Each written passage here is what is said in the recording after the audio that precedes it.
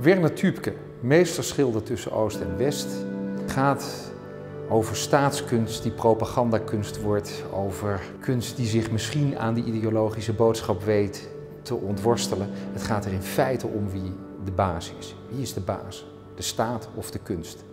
Kijk nou eens hoe Tübke aan de haal gaat met de redelijk lineaire, eenvoudige boodschap van de heilstaatgedachte. En hoe die betovert met zijn beeld, maar ook met zijn verhalen, met zijn anekdotes. En hoe diep hij doordringt eh, tot de essentie van menselijkheid. Werner Tübke was de belangrijkste schilder uit de DDR. Tübke werd gezien als een toptalent. Het probleem was dat zijn stijl te gecompliceerd gevonden werd. Een belangrijk moment in eigenlijk de wording van Tübke was midden jaren 60. Toen vond er in West-Duitsland een proces plaats tegen Auschwitz, Kampbeulen. En wat bleek, de rechters die bij dat proces betrokken waren, waren oud-nazi-rechters.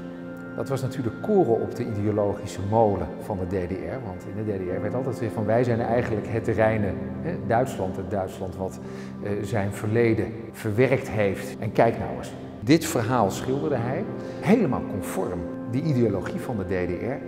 Maar volstrekt haaks op de artistieke doctrine van de DDR. Want beelden moesten begrijpend zijn.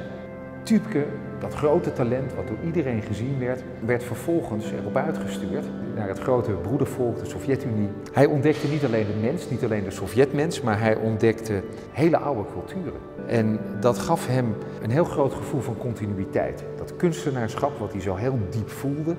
Hij zag kunstenaars die al 2000 jaar voordat hij actief was ook kunstenaar waren. En ondertussen was in de DDR ook een andere wind gaan waaien. Erich Honecker volgde Walter Ulbricht op en er ontstond iets van een lentegevoel.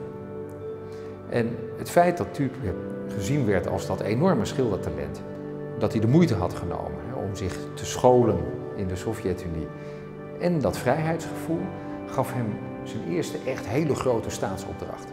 En dit werk werd enorm omarmd. Dit werd helemaal geweldig gevonden. Dit was een absoluut schot in de roos. Hier brak hij door. De virtuositeit, de golving, eh, de wijze waarop de boodschap verpakt is. Hier zie je de familie Tübke. Ze zijn gekleed als een soort van Siciliaanse marionetten. Tübke die beeldt zichzelf af als een marionet. En wie zit nou aan de touwtjes? Hè? Dat is een enorme reflectie op zijn kunstenaarschap, waarin hij vrijheid had tot op zekere hoogte. En die spagaat van Tübke is eigenlijk de spagaat van Rembrandt.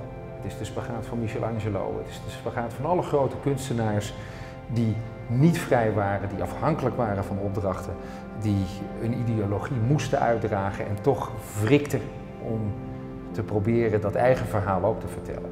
En dat maakt hem natuurlijk enorm interessant.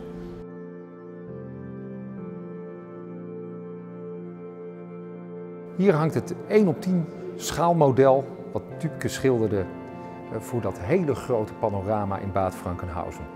Dit is een eh, volledig uitgewerkt model. Het is geen studie, het is een werk op zichzelf. De aanleiding van deze opdracht is het feit dat de DDR op zoek was naar historische voorbeelden die hun bestaansrecht gaven. En tussen 1524 en 1526 is er een boerenopstand geweest iets ten westen van Leipzig. De DDR heeft die opstand omarmd als een soort van pre-communistische beweging, waarmee ze konden laten zien van kijk, wij staan op de schouders van dit soort ideologische voorgangers.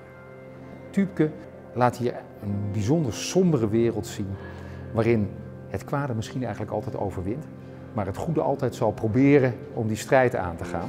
En wat hij uiteindelijk misschien laat zien is dat de schilderkunst overwint. Een paar maanden nadat het eh, panorama in Bad Frankenhausen werd geopend, viel de muur. En dit is het schilderij wat Werner Tübke schilderde eigenlijk als verslag van die val van de muur. Onmiskenbaar hè, met die betonstructuur en ook die segmenten waarvan er dan eentje uitgeduwd is. En Tübke had het enorm zwaar na de val van de muur. Belast door zijn relaties met het regime. De roem en de faam die hij in de jaren 70 en 80 ook in het Westen had, die was hij in het Westen in ieder geval helemaal kwijt. En uh, hij heeft zich teruggetrokken in zijn kunstenaarschap en is in 2004 overleden. De tentoonstelling gaat over autonomie, gaat over propagandakunst, gaat over wie wint in die strijd. Gaat ook over moraliteit. Collaboreerde Tübke of wist hij zo'n niche te creëren voor zijn kunst en voor zijn artistieke oog en zijn vaardigheden, dat er hele grote kunst ontstond. Van dat laatste ben ik overtuigd.